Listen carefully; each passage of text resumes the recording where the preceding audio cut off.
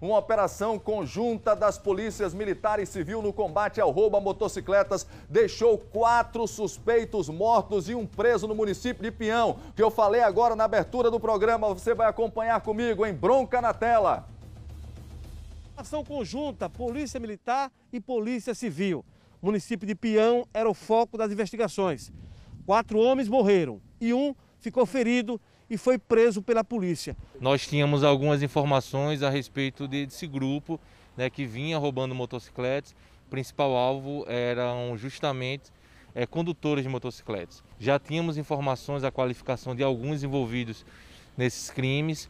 Houve um início de diligência por parte da Polícia Civil, da Polícia Militar e em determinado momento um grupo foi localizado numa residência no município de Pião. Nas diligências, uma residência em Pião foi localizada, Lá e, e existiam cinco homens, os cinco assaltantes que faziam parte desse grupo criminoso né, que vinha agindo lá em Pinhão e dos municípios vizinhos.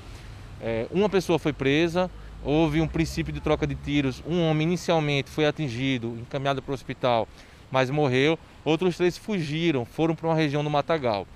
O grupamento tático aéreo, GTA, ele foi acionado, sobrevoou toda aquela região e os três homens foram localizados.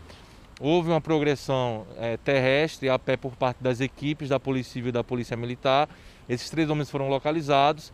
Houve um novo, é, um novo confronto, uma nova troca de tiros. Esses homens foram atingidos, também encaminhados para o hospital e acabaram falecendo. A, a investigação continua.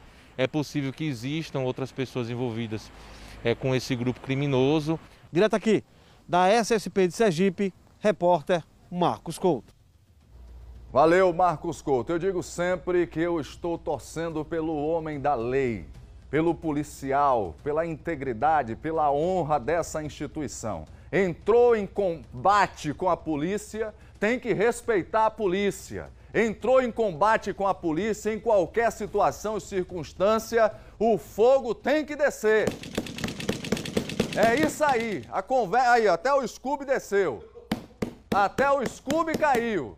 A minha conversa é essa, é franca e é aberta.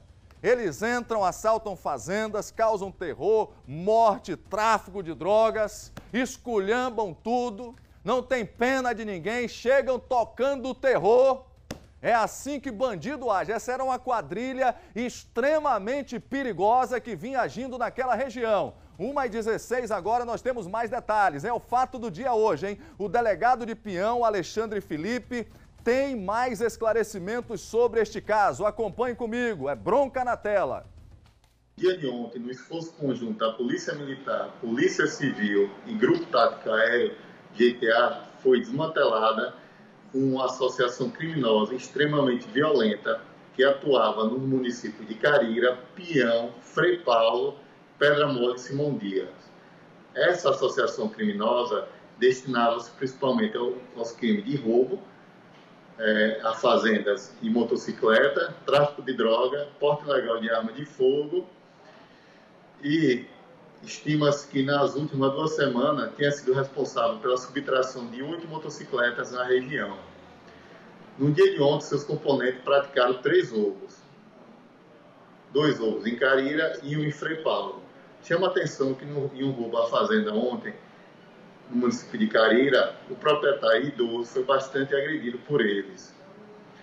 Aí, na ação de ontem, os policiais tomaram conhecimento que eles estavam na cidade de Pinhão e para ali diligenciaram, localizando o primeiro componente, que logo se entregou às forças de segurança, com eles com ele foi apreendida, foram apreendidas substâncias entorpecentes e os demais componentes, ao serem localizados, reagiram à abordagem da polícia entrar em confronto. Mesmo recebendo pronto auxílio do, dos policiais que encaminharam de imediato para, o hospital, eles não resistiram aos ferimentos e faleceram. Por fim, cabe salientar que eles tinham uma extensa ficha criminal